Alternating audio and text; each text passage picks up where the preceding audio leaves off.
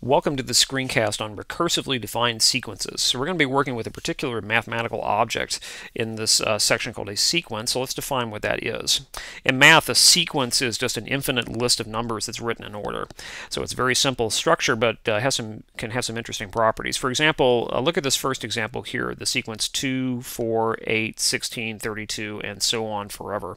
We use uh, a sub n here to refer to the nth term. For example, this would be a1, the first term term. That's A2, the second term, A3, A4, A5, and so on.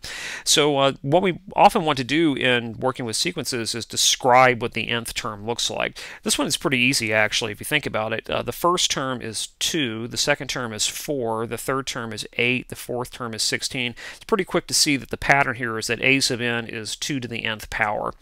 And uh, that's a nice little closed form expression uh, that just simply you put in the n and it spits out what the nth term of the sequence is going going to be. For example, A10 is going to be 1024. Sometimes we don't get uh, as easily uh, described of a sequence as we can. Like check out the second one here. A1 is 3, A2 is 3.1, A3 is 3.14, A4 is 3.141, there's A5, A6, and so on. So what is the nth term? Well, it's kind of hard to describe that as a formula, but it's very easy to describe this in words. An is just simply uh, the number pi uh, taken out to n minus 1 decimal places to n minus 1 decimal places. So that is a description of the nth term. Um, without exactly being a formula as such. And, and that's okay. Now let's take a look at a problem that's going to motivate a specific kind of sequence that's going to be uh, quite easy to work with using our notions of induction. And this actually comes from uh, every parent has gone through this before. You have a sick kid, uh, they're running a fever, and so what you do is you give them acetaminophen. That's a drug that we all take for fevers and pain relief. Uh, it says on the box that a sick kid of this uh, child's weight and age should get 320 milligrams of of acetaminophen every four hours. Uh, during that four hour period, 80% of the medicine in this particular child is metabolized out of the child's body, so 20% remains.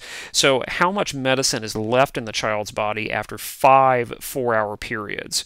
And uh, that's pretty helpful to know. Let's suppose, just to simplify things, that there's only one dose given at the very beginning here, and we're just going to let that sit through the child's body uh, without giving any extra medicine. So, without giving any, without actually obeying the rules here. We're not going to actually give the child medicine every four hours. We're just going to give the kid one dose and see what happens. If the kid gets one dose of 320 milligrams of acetaminophen uh, after five four-hour periods, it's 20 hours, uh, how much is going to be left?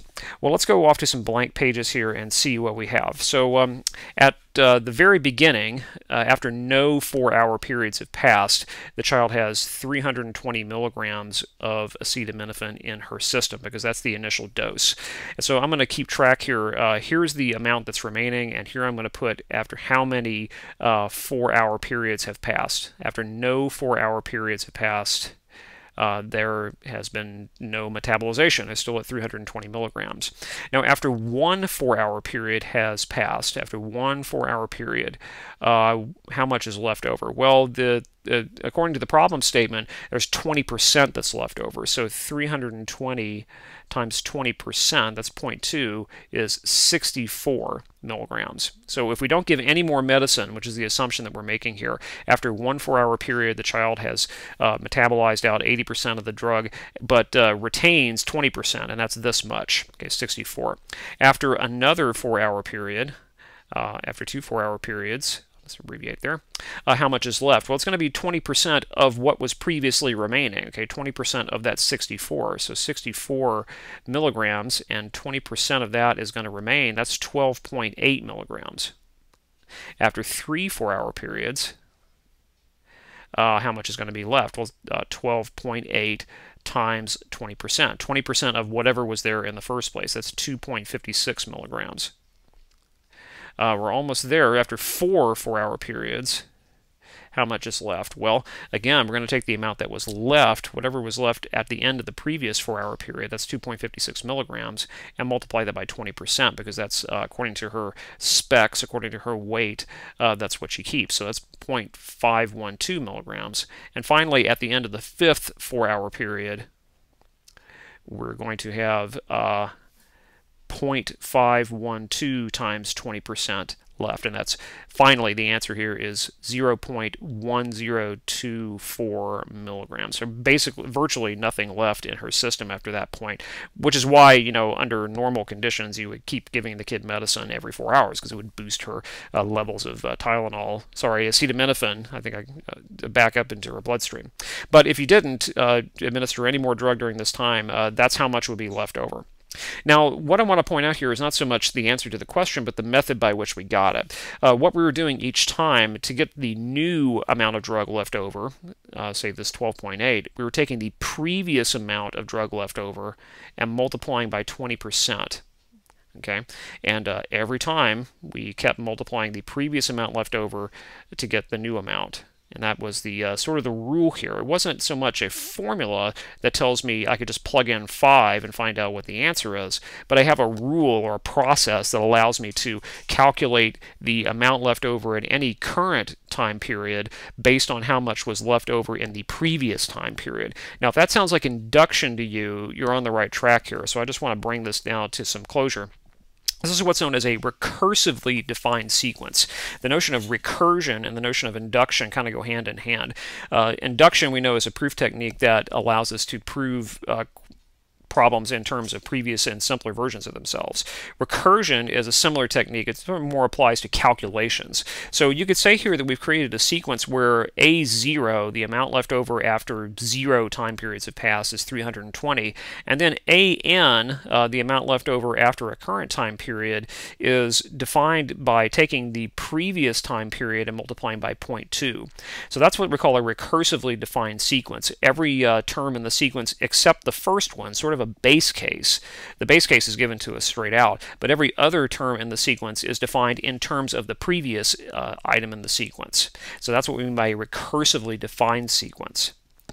So let's see how well you're understanding recursively defined sequences with a quick concept check. So let's suppose that we're going to define a sequence recursively by declaring a1 to be equal to 1, and then a sub n, every other nth term, as long as for n bigger than or equal to 2, every other term in the sequence is defined by n times a n minus 1. So with that, what is the value of A7? Work this out and pause the video while you're doing it and then come back when you have a result.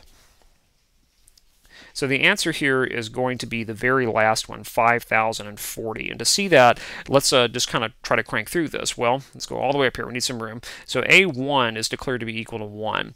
A2, according to the uh, formula here, A2, just pretend the n is a 2, that would be 2 times a sub 2 minus 1. So that would be 2 times a1. It's 2 times the previous uh, uh, value, so that would be 2 times 1, which is 2. a3, according to my formula, would be 3, see there's an n there, times a sub 2. And that would be 3 times 2, because a2 is right up here, and 3 times 2 is 6. So what is a4? That would be 4 times A3, and that would be 4 times 6, that's 24. A5 is 5 times A4, and that would be 120. I'm running out of room, so I'm going to go up here to the top. A6 would be 6 times A5, and that would be 720. And then finally we get our, our final result. I'll put it down here in the white. A7 is 7 times A6 and that would be 7 times 720, that's 5,040. So according to the rule for the sequence, uh, the first term is defined for me, but every other term from the second term on up is given by taking the, the subscript and multiplying it times the previous term in the sequence. So that's a recursively defined sequence. So in the next video, we're going to look at a sequence that's defined by two conditions, and that motivates a very important and famous sequence of numbers. Stay around, and thanks for watching.